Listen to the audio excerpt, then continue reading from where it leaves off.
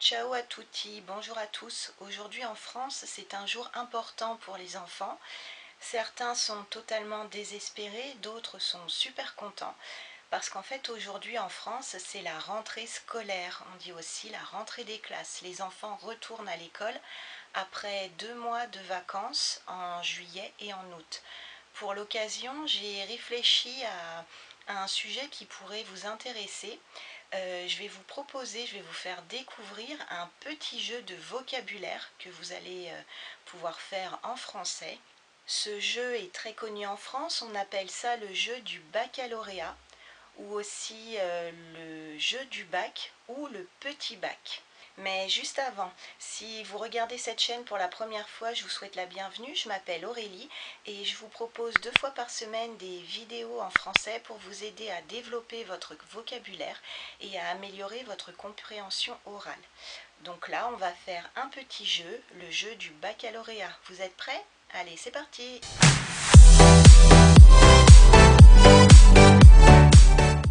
Je vais d'abord vous expliquer ce que c'est le baccalauréat. C'est quelque chose de très important en France. C'est le diplôme national qu'on passe à la fin des études secondaires quand on a à peu près 17 euh, ans. Et ce diplôme est absolument indispensable si ensuite on veut faire euh, des études supérieures. L'intérêt de ce jeu, c'est qu'il fait travailler la mémoire, il euh, vous permet aussi de développer votre culture générale, votre rapidité et euh, vous allez faire de gros progrès en vocabulaire et en orthographe parce que vous allez devoir trouver des mots en français. Et pour vous montrer que c'est un jeu qui est même utilisé à l'école, dans par exemple les cahiers de vacances euh, pour les enfants, lorsqu'ils doivent réviser un petit peu, et eh bah, ben, euh, le petit bac, voyez, le petit bac est proposé. Donc trouve des mots commençant par R pour chacune de ces rubriques. Donc il faut trouver un animal qui commence par R, un prénom, un fleuve ou une rivière, un pays ou une ville, un objet, une fleur, fruit ou légume, une partie du corps et un personnage célèbre. C'est ce jeu-là que je vais vous expliquer. Alors ce jeu se joue à partir de deux personnes et bien plus, mais vous pouvez aussi vous entraîner tout seul. Euh, voilà, ça sera un petit peu moins rigolo, mais ça sera quand même très bénéfique. Alors, pour jouer à ce jeu, c'est très simple. Il vous faut juste une feuille blanche et un stylo ou un crayon à papier comme vous voulez. Il faut prendre la feuille en format paysage, c'est-à-dire comme ça. Si vous tenez la feuille en hauteur, on appelle ça le format portrait. Nous, on veut le format paysage. Voilà. Alors, vous devez déjà tracer une ligne horizontale. Horizontale, ça veut dire de gauche à droite et ensuite vous faites une ligne verticale.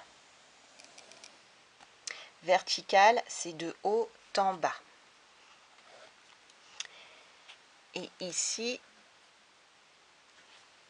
vous marquez lettres. Et euh, pour faire simple aujourd'hui, on va faire euh, quatre catégories. Donc on va faire quatre colonnes.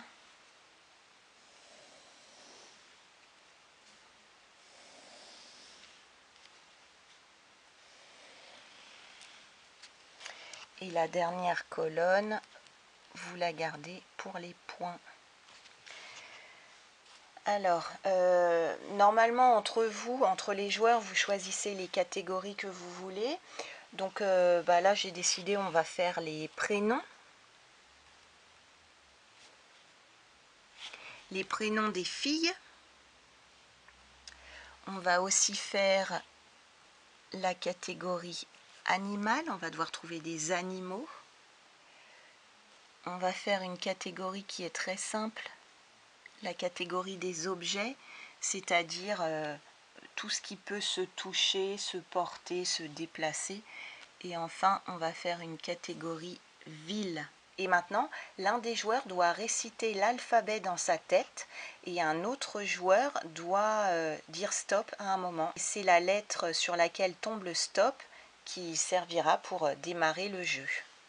Donc là, je vais vous réciter l'alphabet en français, comme ça vous voyez bien comment on prononce chaque lettre. Alors, A, B, C, D, E, F, G, H, I, J, K, L, M, N, O, P, Q, R, S, T, U, V, W, X, Y et Z. Et on va dire que pour le jeu d'aujourd'hui, on va prendre la lettre M. Voilà. Donc le but, euh, avec les autres joueurs, vous devez trouver le plus vite possible un prénom de fille, un animal, un objet et une ville qui commence par M. Donc alors c'est parti, un prénom de fille. Euh, alors moi comme ça là je pense à Magali. Euh, mais vous avez aussi Martha, Monique, Mégane, Muriel, Marine. Enfin bref, il y a plein de prénoms féminins en M. Ensuite, un animal. je pense à une migale.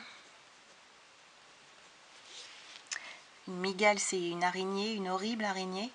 Euh, il y a aussi mulot. Mulot, c'est une petite souris. Bon, voilà, c'est les deux seuls auxquels je pense. Un objet qui commence par M, euh, bah, par exemple une main.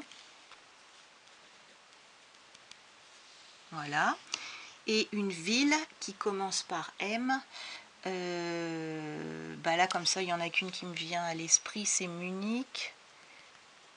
Euh, bon, après, il y en a sûrement d'autres, mais là, comme ça, je ne sais pas. Donc voilà, une fois que vous avez rempli votre ligne, vous dites top. Et euh, celui qui a rempli toute sa ligne et qui a tout bon, eh bien, il gagne 4 points. Voilà. Et ensuite, vous recommencez avec une autre lettre. Donc, vous reprenez l'alphabet à partir de la lettre M.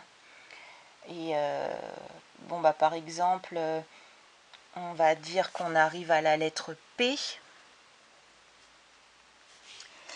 Donc un prénom féminin euh, qui commence par P. Euh, bah là, moi, je pense à Pénélope. Euh, il y a aussi Pauline. Un prénom de fille, là, comme ça, c'est tout. Un animal qui commence par P, bah, on a le poisson. Le poisson qui est dans la mer ou dans les rivières un objet bah, du pain, le pain qu'on mange, et une ville. Bon bah là avec P c'est facile, je vais mettre Paris. Top Voilà, et si je suis la première à avoir rempli euh, ma ligne et que j'ai tout bon, eh bah j'ai 4 points. Et à la fin, bah, vous totalisez euh, le nombre de points et c'est celui qui a le plus de points qui a gagné.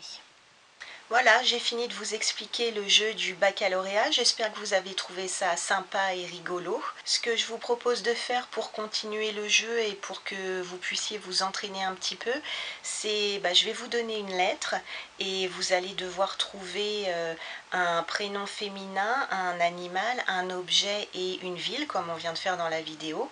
Et on n'a qu'à dire qu'on prend la lettre L